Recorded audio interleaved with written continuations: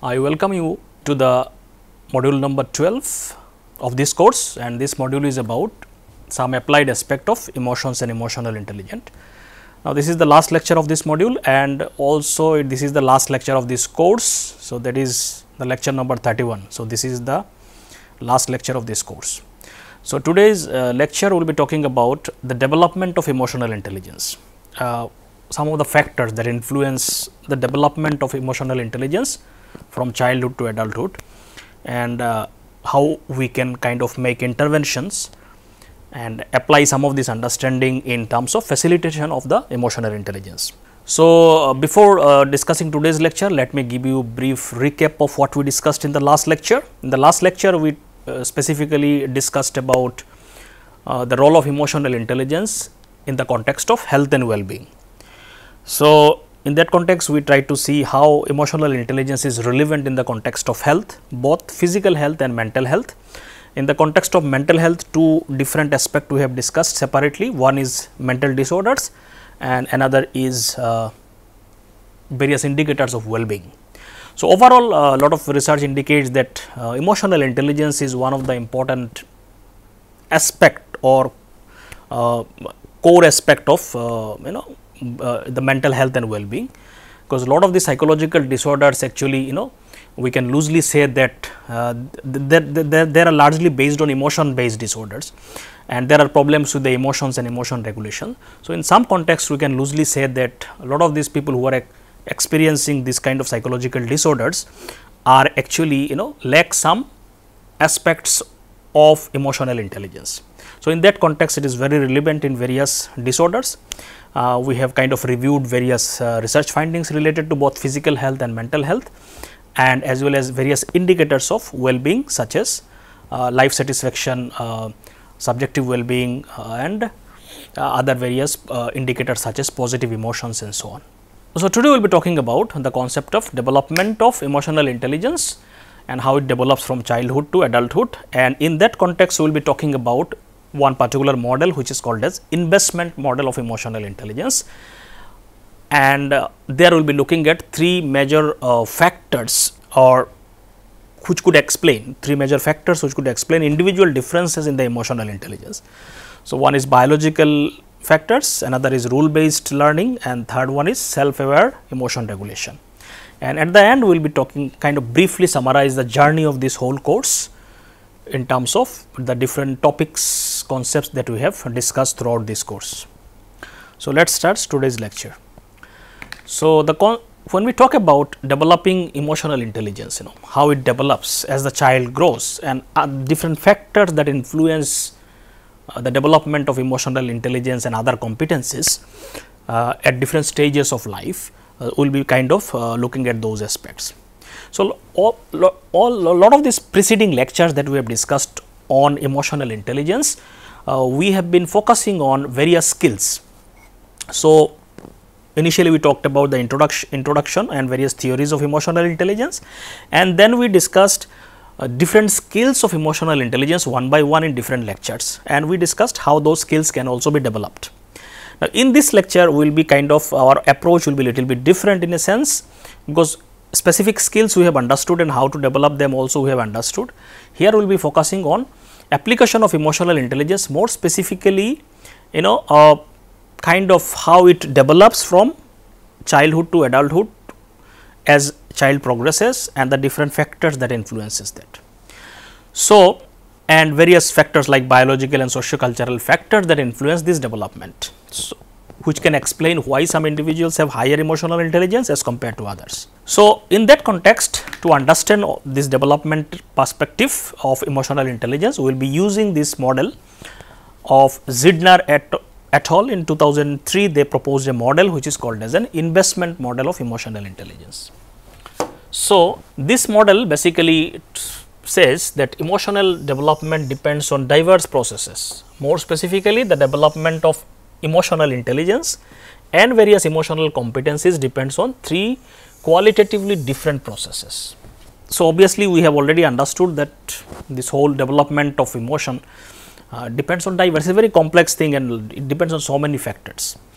And when we talk about emotional intelligence more specifically, this model says there are three interrelated factors or interacting factors which kind of give rise to these differential uh, capabilities in different individuals and uh, these three basically factors we will be talking about in the in this lecture. So, as the child grows the level of emotional processing becomes much more sophisticated and the control of adaptation shifts from biologic based temperament to rule based to the self directed regulation of emotion. So, as the child grows its ability to process uh, emotional emotions and information related to emotion also becomes more and more sophisticated as the child grows and it kind of its, its, its journey starts from more biologically based. So, initially a child is very biologically oriented the different tendencies that are there within the biology will determine its emotional experiences. So, the, the, the especially the during initial years of childhood uh, the emotion is very much biologically oriented and then it kinds of goes to rule based learning as the child grows it learns various rules and regulations how to manage emotion how to express. It learns from the social environment socio-cultural environment. And then kind of the child learns more sophisticated kind of understanding of emotions and kind of uh, regulation of emotion which is called as uh, self directed on with the increase in the awareness of self understanding about themselves and their social world it becomes much more awareness based kind of regulation so, this is how the journey goes from biology based to temperament to rule based to the self directed emotion regulation. So, this basically model talks about these three levels of functioning.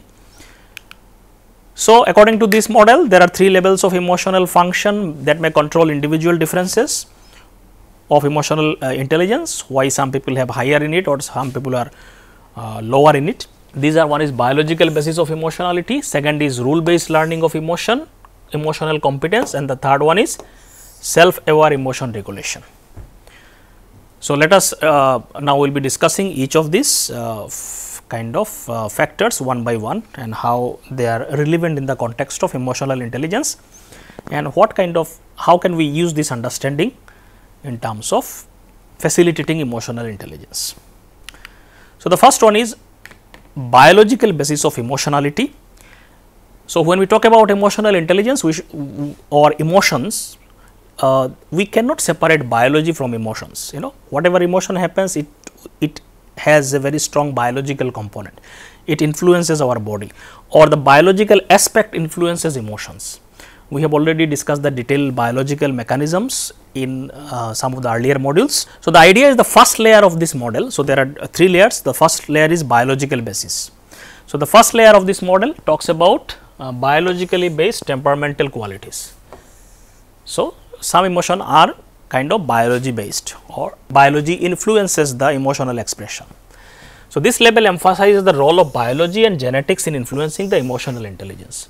So, the biological component and the underlying factors which influences biology is the genetics uh, and that can influence that can kind of influence the emotional expression and experience of the individual also.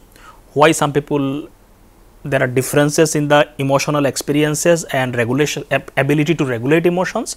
Some of these aspects could be explained by the genetic influence or the biological influence. So, it suggests that individuals may have inherent differences in their emotional responses and abilities due to genetic factors and the brain functioning. So, individual may differ in their emotional understanding, expression, ability to regulate. One of the reason could be these biological factors, inherent differences.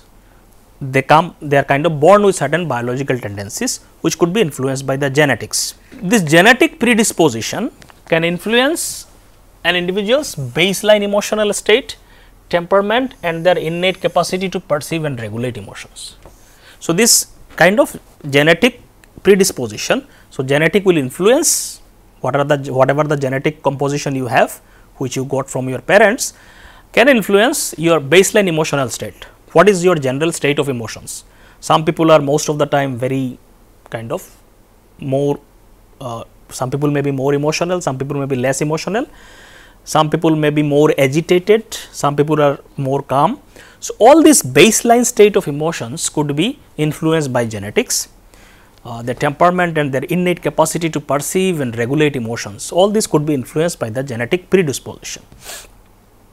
These biological factors may in turn influence specific emotional processes. So, genetic will influence this predisposition to react differently. Some may be more reactive individuals, some may be less reactive. So, this predisposition is influenced by the gene and that can ultimately lead to uh, influence to other specific emotional processes such as perception of emotion, expression of emotion and regulation of emotion. All the complex expression of emotion in the social world ultimately can be uh, explained through some of the biological inherent differences in the individuals in terms of certain tendencies. So, this level is more evident in the early childhood emotional functionings. So, when initially a child takes birth, it is very much uh, its function depends on the biological predisposition. Whatever the tendencies are there, the child will kind of behave accordingly, because child has not learned anything from the outside world much. This learning process will continue as the child grows, but initially it is much more influenced by the genetic and the biological tendencies that it has, particularly the emotions. So, babies even very young ones uh, can surprisingly understand and respond to emotions. We all know that, that, even a child, even a newborn child kind of respond to emotions, you know and they have their own emotional reactions also patterns. Some child could be very emotionally reactive, some child may be more calm and uh, some child will not kind of react initially much. So, all these individual differences even you can see when a newborn child where there is no influence of environment which shows that these are biological tendencies. So, this could kind of differentiate some of the individual differences. So, this suggests that uh, they might have some inborn abilities related to emotions not just things they learn as they grow. So, some inborn abilities they are kind of born with certain emotional uh, abilities in terms of expression and uh, kind of reaction. Additionally, some newborns might be uh, some newborns might have a biological predisposition to high be highly reactive when exposed to stimuli and novelty. Some children are very reactive or some children may cry a lot, some children may not cry much, they are more peaceful and calm. So, that reactivity differs in emotional uh, of child. So, which are purely maybe biological predisposition because child has not learned anything from the outside.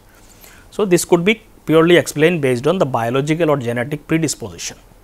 So, during the first year of life uh, when confronted with uncertainties, uh, such infants may display specific physiological responses such as elevated heart rate, physiological changes such as elevated endorphins levels which can make soothing them particularly challenging. So, some children you know initial years even know, uh, when faced with some uncertainties, some fearful uh, stimuli, uh, they may react very strongly in terms of high heart rate or physiological changes on some hormonal changes and so on and it may be very difficult to kind of soothe those kind of uh, children. So, so that th this could explain the biological kind of predisposition for high emotional reactivity. Now, recent research also suggests that specific uh, traits related to emotion, temperamental traits might affect how emotional intelligence develops. You know, so emotional intelligence which develop the development of emotional intelligence. So, might depend on some of these traits, emotional traits, you know, uh, specific emotional traits that could be linked to biology also. And more specifically, two particular uh, temperamental traits are important in terms of uh, because they are influenced by the biology and they can also influence the emotional intelligence.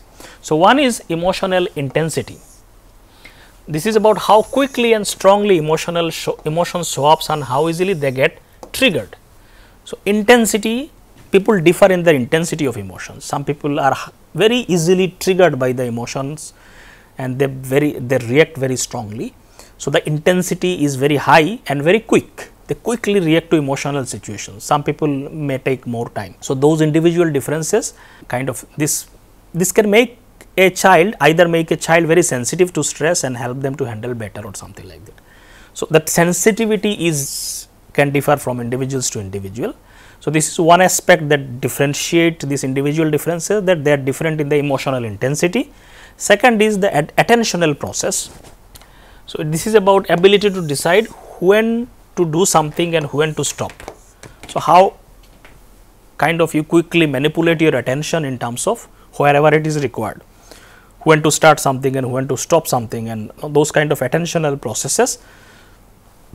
This can help a child deal with the stress by letting them control their actions more effectively. So, regulation of emotions and controlling action largely depends on the attentional processes.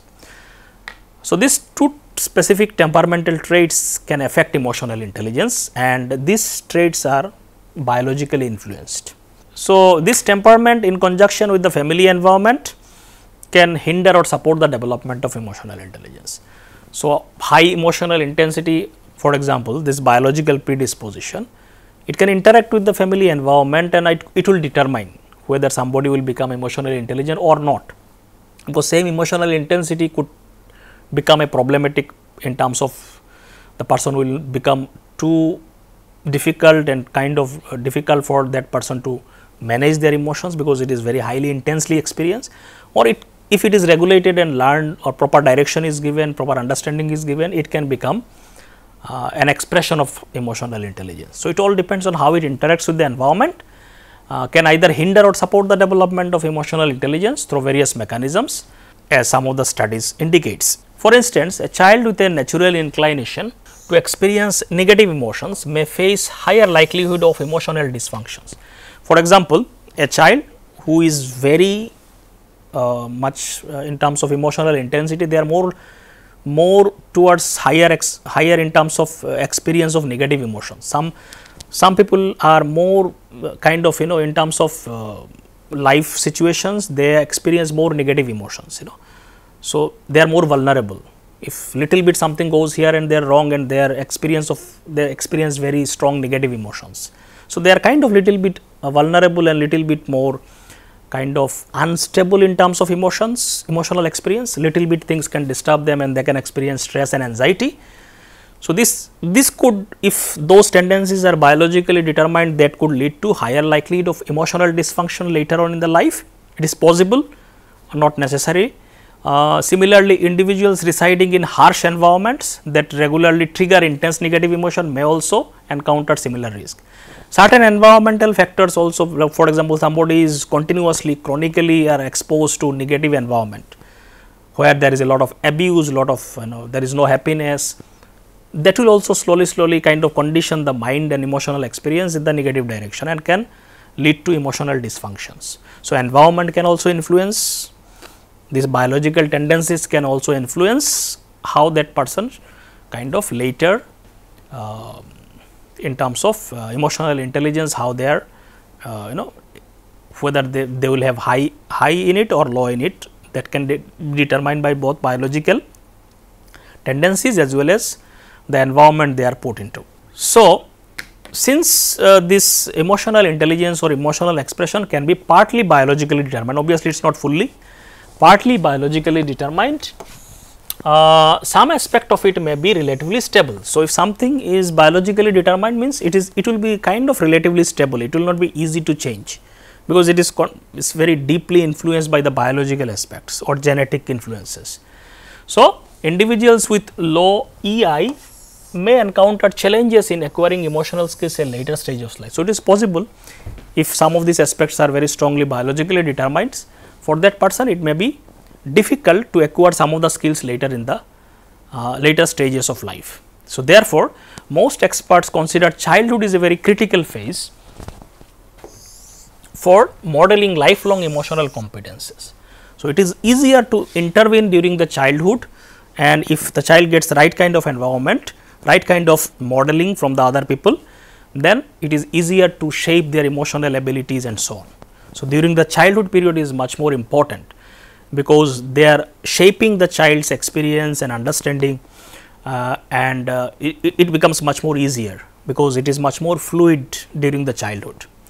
So, intervention at the childhood could play a very significant role uh, how the child later on becomes in terms of their emotional capability and emotional intelligence. So, these major skills of EI may have uh, may each have a crucial periods of of their development which spends several years during childhood. So, during childhood as the child grows, so child can learn all these emotional aspects in certain developmental stages as the child grows, uh, which may differ from some child to some child, but mostly they learn different skills of emotions as they grow and intervention during those critical periods are very important. As the child is learning, uh, if they are taught appropriate emotional expression, understanding of emotions and how to express, how to regulate, uh, that will have a very strong impact on their uh, on their emotional skills and abilities.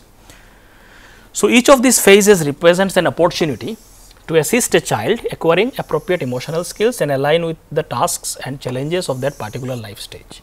So, those different stages of uh, childhood gives a very strong, very uh, significant opportunity to shape the child's emotional abilities.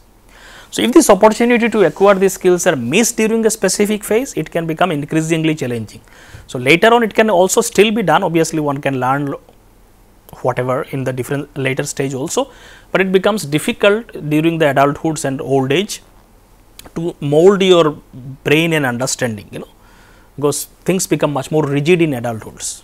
Childhood you can shape the mind of a child much more easily.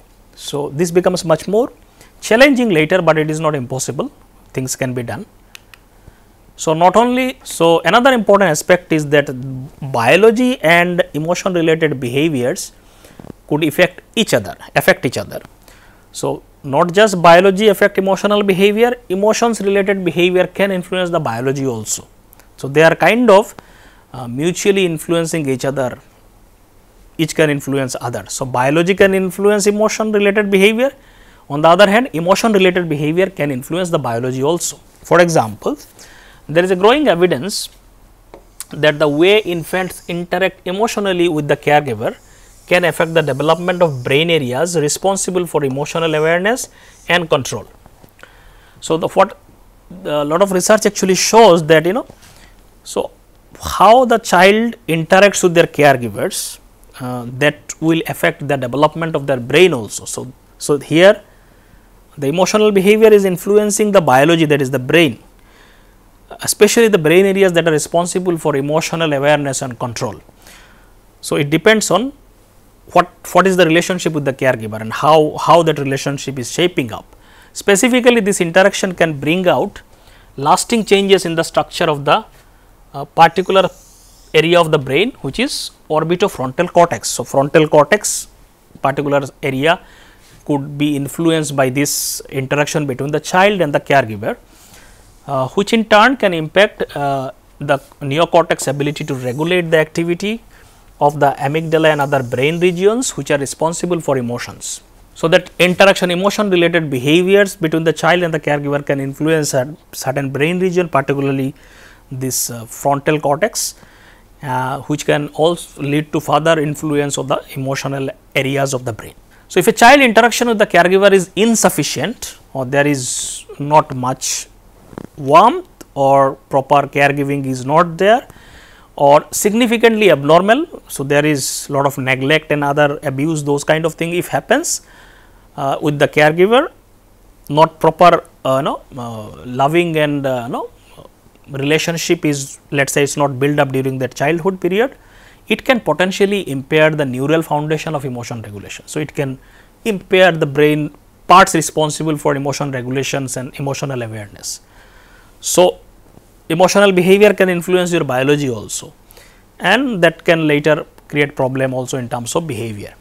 Additionally, delays in language development and other things also can hamper acquisition of skills related to recognizing, comprehending and expression of emotion.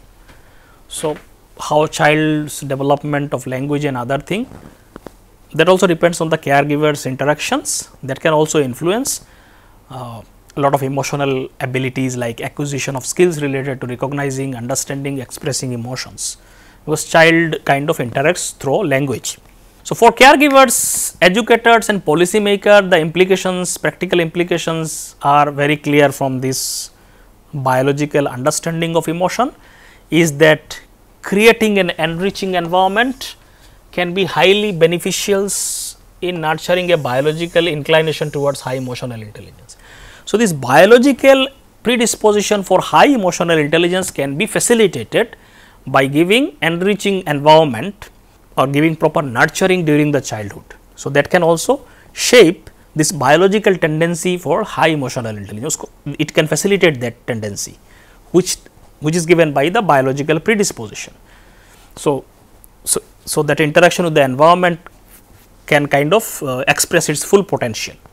Furthermore, even if the child's emotional competence seems limited in the early years, there is a still opportunity to influence biological factors that becomes more prominent as the child grows and develops. So, this says is a kind of developmental model even if there is a limited abilities of a child during childhood, we can still do lot of intervention later on in terms of as the child grows for uh, which can be done later uh, developmental stages also. So, it is not that if child has not learned much during the specific period of childhood, it cannot be done later. So, there are other opportunities as the child grows where interventions can be done.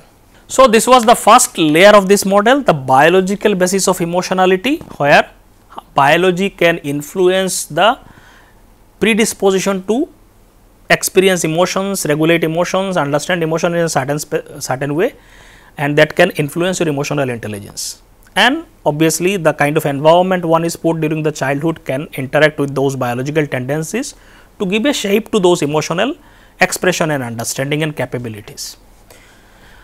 Now, the second layer of this model where how a child learns emotions and expression of emotions and emotional intelligence related capabilities is through rule based learning. So, biology can facilitate emotional intelligence or hinder emotional intelligence by influencing certain tendencies. Then child as the child grows they also learn rule based learning of emotional understanding and competencies. So, they learn from other people. So, at this level the model focuses on the acquisition of emotional competences through learning and socializing process. So, child learns things from the other people around them, from their parents, from the family members, from whoever is around and slowly slowly they learn how other people are behaving and they kind of uh, kind of imbibe those understanding within themselves. So, learning and socialization process uh, uh, they learn lot of things including emotional competencies. So, it suggests that individuals develop their emotional intelligence through exposure to social and cultural norms as well as through personal experiences. So, society has so many norms where to express what, where not to express certain emotions and so on. The child slowly slowly learns by looking at other people and uh, through their personal experience with different social situations. So, at this level, so the in dynamic interaction with temperament, so biological temperament is always there that will interact with all these things and the final things final uh, expression will uh, come about by this the, the result of this interaction. The child learns specific competencies through attachment relationship with significant others. Family members, peers and teachers they learn a lot of these com emotional competencies from them. Here the child learns if then rules and recognizing emotion in self and others as well as displaying and expressing emotions. If some this kind of situation happens then this type of emotion should be expressed. So, they, they learn uh, and imbibe from other people and their behaviors from the social situations. This family socialization is, is kind of uh, has a direct influence on child's uh, social and emotional competencies, interaction with the family and socialization. Additionally, it seems to have an indirect effect on social emotional competencies by shaping child's comprehension of emotions and their acquisition of social knowledge. So, so family socialization is has very important impact both direct as well as indirect impact on learning various emotional competencies. And in that context more specific factor or critical factor is attachment between the children and the caregiver. Little bit of this we have already discussed in the biological factors. So, this family socialization most critical is in that is the care relationship with the caregiver as the child especially during the initial phase child is completely dependent on the caregiver and they verbally and non-verbally they kind of imbibe everything from those caregiver. So, this plays very strong role on the child's learning processes including the emotional ability competencies. So, this attachment serve as the fundamental cornerstone upon which the child construct the positive working model of themselves and their interpersonal relationship. So, they learn everything their whole model of interpretation understanding comes from that caregiver. In essence the child experience and the uh, caregivers over time supply them with the essential building blocks to create internal working model. So, all the data that they uh, kind of to build the model social world it comes from this particularly from the caregiver. So, this quality of their relationship during this uh, specific period attachment relationship with the child and their caregiver plays very important role in shaping the development of emotional competencies, empathy and prosocial behavior. They learn from those particularly attachment figures particularly caregivers. For example, a secure uh, attached children will be able to develop the ability to respond empathetically to others because they have personally encountered responsive and empathic caregiving. So, if they have a very secure relationship with the caregiver, uh, they are more likely to develop empathy towards other people, they will understand other people's emotions and concerns because they themselves were understood by their caregivers. Whatever they need, their emotional needs were supported by their caregivers. So, they are more likely to respond like this to other people. So, they will model that. Whatever child learns, it is from the model and then they express it similarly. So, if they were properly understood and uh, emotionally cared, they are also more likely to show that with other people. So, that is what some that is what uh, kind of uh, research also shows the possibility is most likely to be like that. Now, apart from just uh, caregiver and the child relationship overall emotional climate of the family is also very important in terms of shaping the emotional capabilities of the child.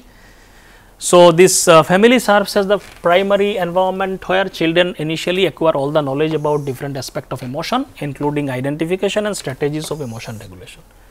Because it is in the family context initially child experiences all the emotions, they see other people expressing all the emotions and this is how they learn all these things. So, this whole environment will determine how what is their competencies, how what is their learning process and so on. So, the quality of emotional atmosphere within the family is very significantly influenced by two major things, how caregivers and whoever is attached to the child express positive and negative emotions, how they are expressing, whether they are expressing too much of negative emotions or they are also expressing appropriately positive emotions or not, how caregivers respond to the child's emotional expression. When a child expresses certain emotions, how they are responding. So, these two factors are very important in terms of shaping the child's competence of emotional or emotional competence. So, as a result the emotional climate at home has an impact on child's emotional responsiveness and the quality and stability of their relationship with the family members.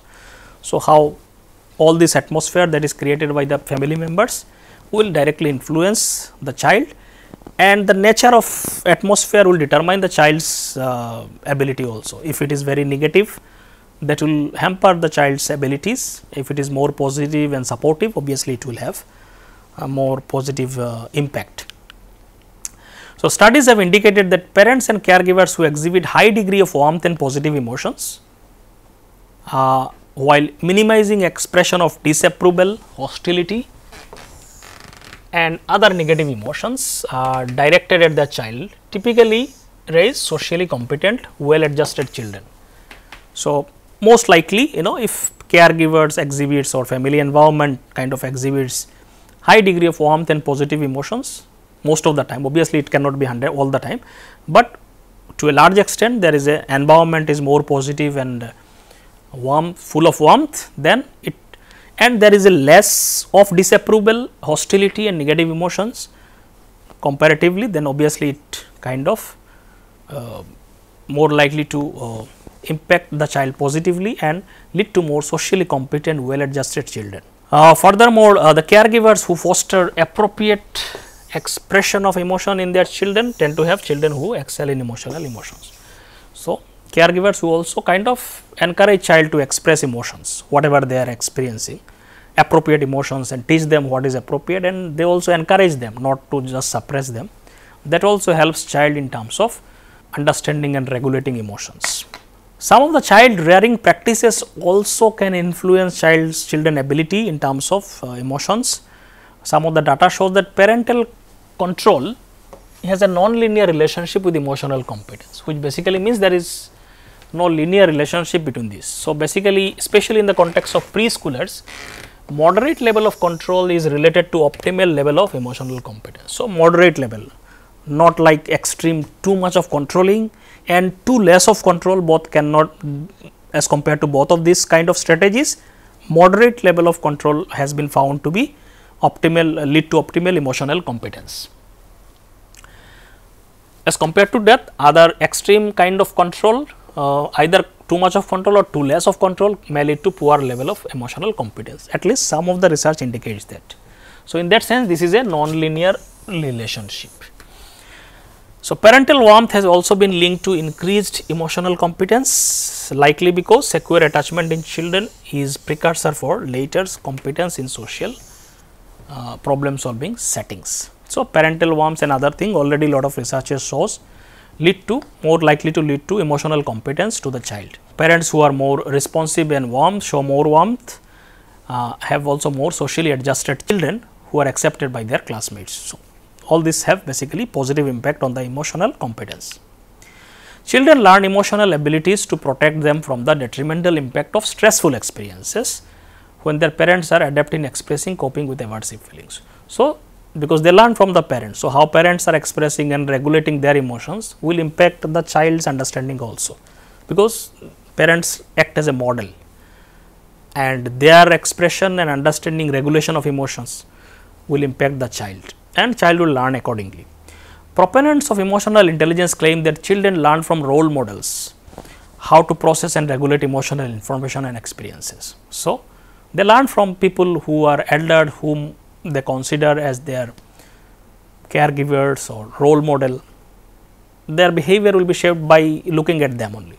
So, parents, teachers, particularly parents in the initial phase are the first and significant role model for the child and they learn their emotional competencies from them only. If they are not able to, they are not competent in emotional abilities and regulating emotions, uh, you cannot expect a child to be competent. So, this is the second level where child learns lot of this emotional understanding and capabilities and regulation of emotions from the people around them, from the family, from the society, from the schools and so on. So, this is a, the second level of understanding where child develops their emotional competencies and intelligence, emotional intelligence from the rule based learning from the social society. Now, third level is called self aware emotion regulation. Here it is the third layer of model it focuses on the formulation of self aware strategic regulation of emotional behavior. Basically, it suggests that Uh, individuals vary in their ability to be aware of their emotional state and effectively manage them. It is about your own individual ability, how much you are aware of yourself, how much aware of your weaknesses and strengths and your emotional abilities where you lack in terms of control of emotions and impulses and all these things. So, how much awareness you have and how much you are consciously can control yourself you know. So, that this is not just based on understanding of rule based what should I behave by learning from others, it is your own ability. So, this is another level that a child learns as they grow. Their own understanding can facilitate their emotional competencies. So, rule based means they learn appropriately what, what, situation what should be expressed and so on from by looking at others. So, that is more kind of automatic learning.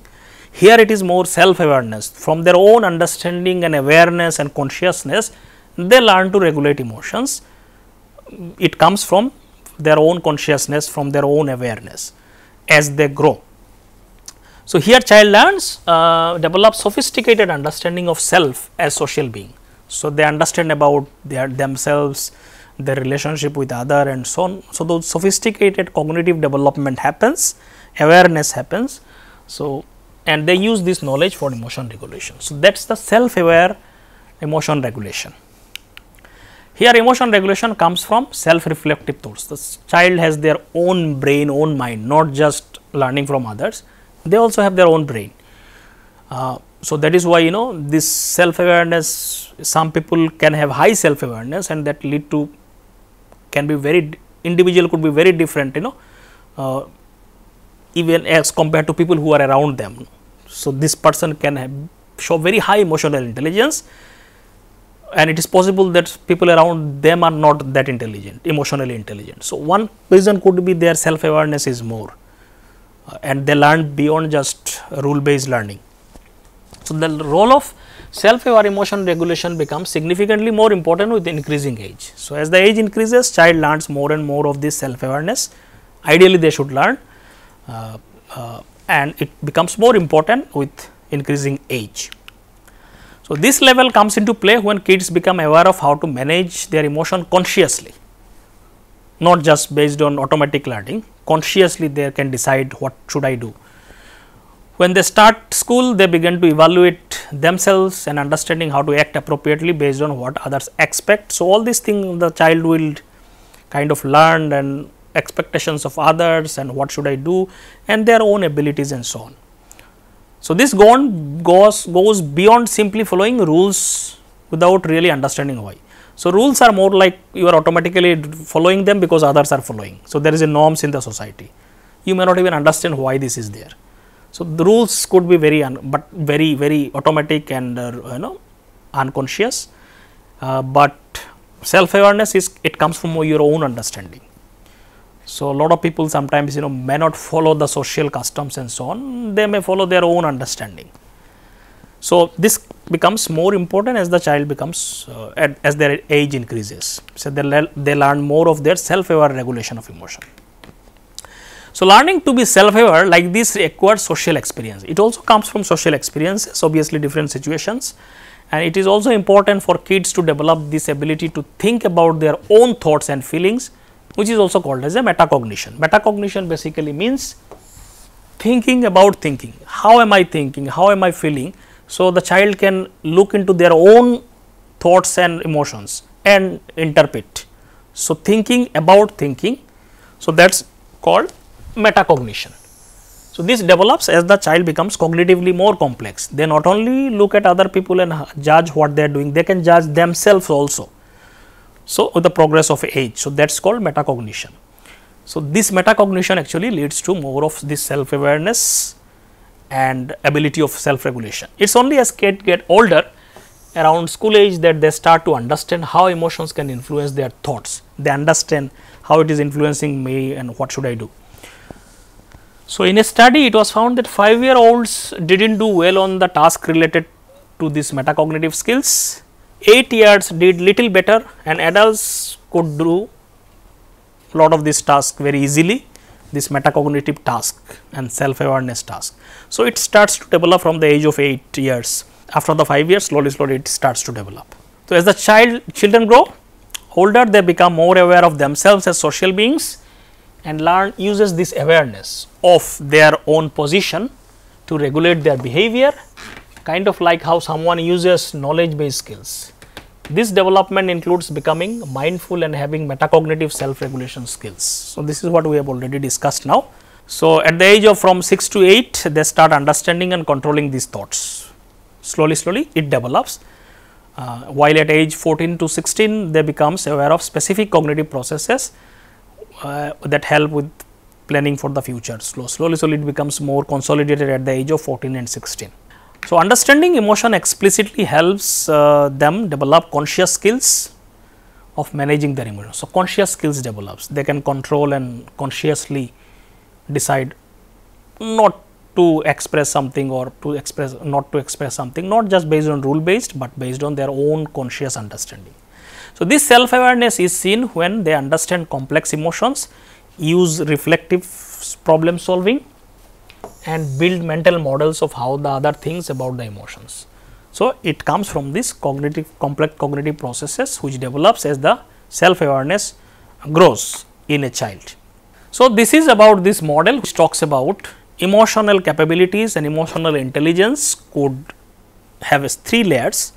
One is biologically based, biological component can influence emotional capabilities and and then emotional intelligence then the second one is rule based understanding that a child learns from the society and the cultural aspects where to show what kind of expression of emotions and so on.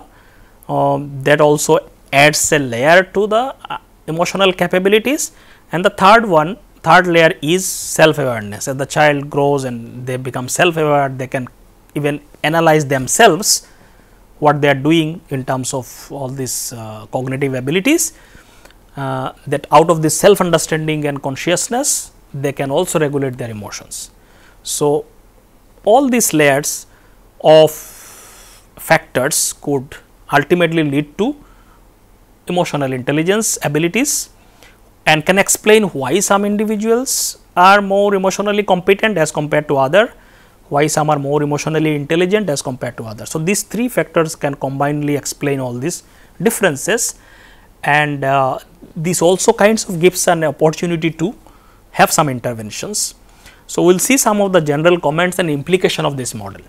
So, this model very clearly shows that we have three ways to look at people, why people are different in emotional intelligence, why they are different, it is because of things we are born with like our biology. So, why people are different in their emotional competencies and intelligence? It is it may be because one of the reason could be we are born with certain tendencies, people are different tendencies, they are born with different tendencies. So, these different tendencies lead them to different capabilities. So, this could be one explanation. Second is it comes from learning how to adapt to situation using rules. How you are learning from the environment, some people because of the right kind of environment they are learning much competent ways of dealing with things. Some people because of the maybe not the right kind of environment and caregiving they are not learning so much. So, this could also explain why people are different. Third is it is about understanding ourselves better through self reflections. So, to what extent you are able to understand yourselves and how much self reflection you do about your own behavior and, and their impact on others.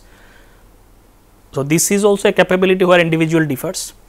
So, people could differ in their emotional intelligence because of these three factors, all these three factors. So, these abilities can also be connected and affect each other, all these can be connected to each other and affect each other. As we said, biology itself has gives only tendencies, where how it is expressed may depend on a lot of socio-cultural factors and the family environment and it could be also modulated by self reflection processes. So, all these th things could be connected to each other as kids get older self aware emotion regulation becomes much more important. So, this third one becomes much more comes into play when child grows uh, as they get older. So, as we grow our emotional functioning becomes less controlled by biology and more influenced by what we learn from social experiences. So, as we grow the biological influence become less and socio-cultural and the self-reflective influences becomes much more. So, this is what is kind of general understanding of this model. Now, what is the implication of this model? What whatever we have understood from this model, how what what is the practical or applied implication of this one? So, th this model gives us very important some of the um, implications this model has in terms of applications. One is that creating enriched environment as we also discussed earlier in the biological factors can be highly beneficial in nurturing a biological inclination towards emotional, especially during the childhood when the child is learning a lot of emotional competencies, giving proper right kind of social environment, family environment can facilitate emotional intelligence. It is much more easier to shape a child minds during the childhood and those biological tendencies can be facilitated. So, even if a child emotional competence seems limited maybe in the earlier years, still there is an opportunity this model at, at, least says we can have an intervention later one also. Develop EI through proper socialization, parenting, modeling and teaching them understanding of skills for enhancing self awareness. So, all these things can also be interventions can be done later on initially initially also that all this could shape emotional intelligence uh, in the different stages of life, not just at the childhood. Socialization processes, parenting, the nature of parenting, how it is done, what kind of modeling they are exposed to including parents, teachers and so on and also teaching the child at the appropriate uh, developmental stages uh, their self awareness skills to understand more about themselves, their strength, their weaknesses and uh, understanding of the social world and where, where you know Oh, so, all these self awareness skills can also lead to better emotional intelligence. So, all these things uh, this model shows should be understood and kind should be kind of implemented uh, as the child grows in the different stage developmental stages. All this can facilitate emotional intelligence.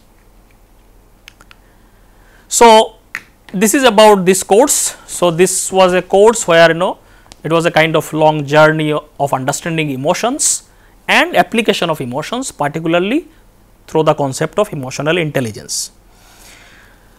And I hopefully that this journey of emotion uh, will be a very meaningful, enriching and insightful journey for whoever takes this course. Uh, from my side I try to give the best of the knowledge possible both theoretical and applied and uh, kind of crux of the information I took it from different sources and uh, try to give understanding on different aspects of emotions which are relevant in our day to day life. So, if you uh, look at this course, uh, I try to touch upon all the significant aspects of particularly the psychological understanding of emotions, where we started talking with the nature, background and history of emotions. That is where we started in the first module. We discussed various uh, background story, the different theories, the various historical figures who are important in the research of emotions and they gave contributed to the understanding of psychology of emotions.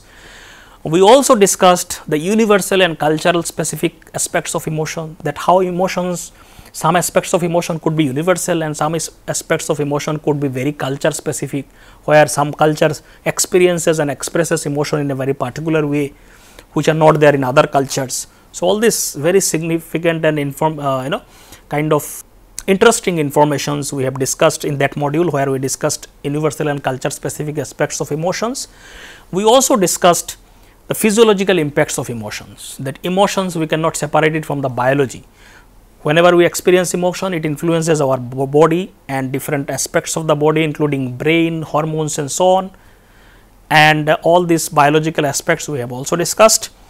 We also discussed self conscious emotions, how some of the emotions are related to the development of self awareness, you know, like you know shame and those kind of uh, guilt, those kind of emotions where lot of self conscious your sense of individuality, sense of me as a separate individual plays very significant role.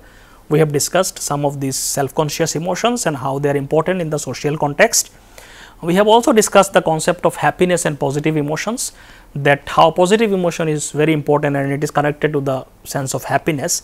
We discussed some of the theories and some of the possibilities and interventions that are we can use to enhance happiness in our life.